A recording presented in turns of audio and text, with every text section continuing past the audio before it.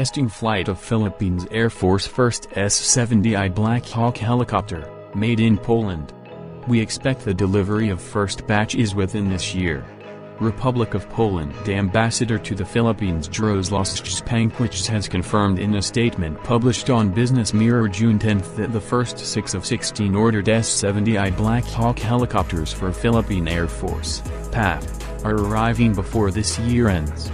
The purchase of 16 S-70I combat utility helicopters manufactured by the Polish Aviation Works Mielec, PZL Mielec, is an excellent example of cooperation between our two countries, Ambassador Szczepankiewicz said.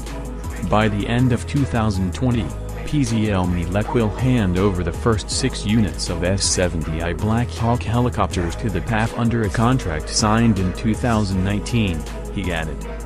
National Defense Secretary Delfin Lorenzana told Senate in January 2019 that though built in Poland, the S-70I Black Hawk helicopters will be certified by U.S.-based Lockheed Martin Sikorsky. In fact the training of our pilots will be done in Florida, Secretary Lorenzana noted. So all the manuals and everything will be in English.